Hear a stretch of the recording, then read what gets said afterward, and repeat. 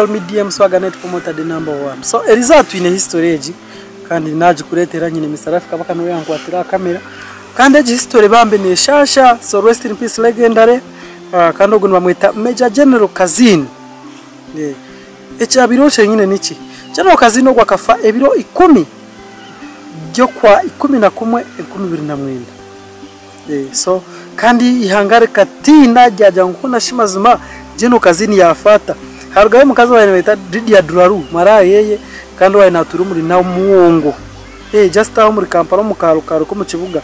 So Duraru yaguye yajata ah ni we niye nitaka kazini kandi yantegana sato wagira mu kuyomba yomba in fact incident kaiza kubaho bushenyo bwa Arani Mandela naho ubu yafa mukazi ari kujya ati niye namwita simanyi simanyi biki biki so ogu mazima iwe umukazi wo kano basa kwita jeno kagendo misho mujajeno kazini akamara izuba ryona ryo kubanza kandi yarimara na duraru kandi yarugaho nkikumi nemwe aho.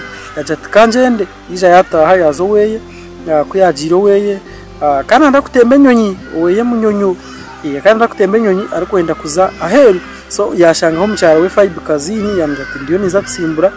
Yaetereza yajo arakwate bagaze kandi akaba naza kuza juba. Biyabiragiye bamuterera simu tuba kumara iki bamugambiye tuba kumara ko bamugizira?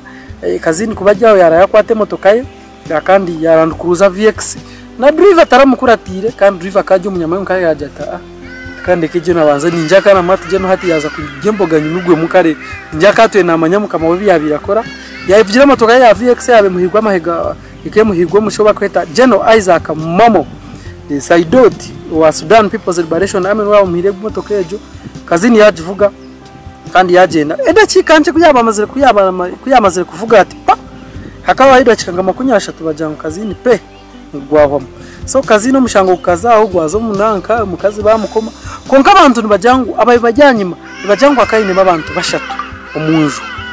E, nibajangu akari abantu bashatu abyabiraire hapo mukazi mukazi takubasa kwita jeni umuntu wagwanira entaro uh, iwe tukubasa kumwita mukazi kare yesu ukajyango ukamwita nk'abantu bingi tubarikirize kandi uh, abingi bakaguma binemo kubusabusa binemu double standards kandi nibajyango abamwe nibajyango akaba abantu babiri kandi abandi bajyango bakaba abantu bashatu.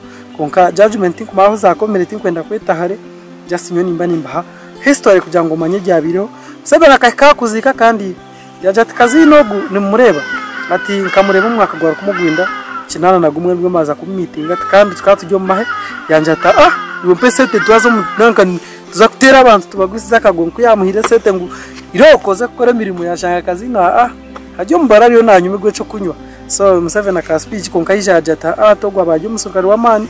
Ati kandi akana nakora munonga munonga n'umusirikare wa mani kandi uri gukora munonga hard working soldier. So Museveni yam praising aso uh, konka polisi kane cyo noza bajangu umukazi ngo akamuteza katahimba konka mazima eco kikaretera abantu baguma bata baticirize kandi abantu baguma baticirize bajya ngo hona shi hona.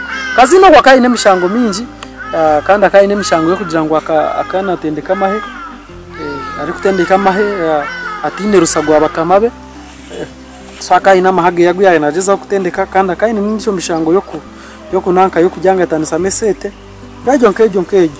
Uh, so uh, duraru bakamukomenya kikumi nena umucome kandi in fact uh, hadi yamazire imyaka ikumi na gumwe yasavingire uh, nabura imyaka eshatu yonka akaba mutuze uwamazire eki nankaci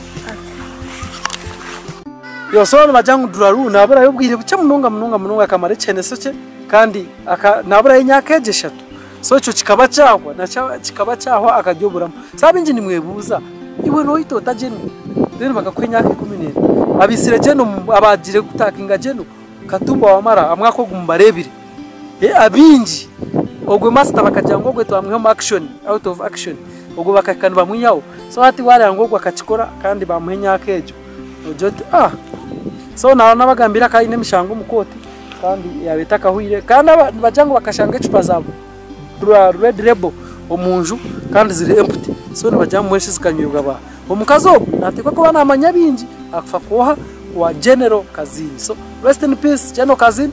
Niyo diye msaga ni mani mbaha history kandi wako kubashome mekubalete. ryafa kugira ngo nimwe mbase kumanya ejyabireho nebitakabireho mbase kumanya ejyabireho then predicting ebuza kubaho. Historian kabaka chapes uganda now. Mr rafi yajya kamera kandi echi ni kore media tv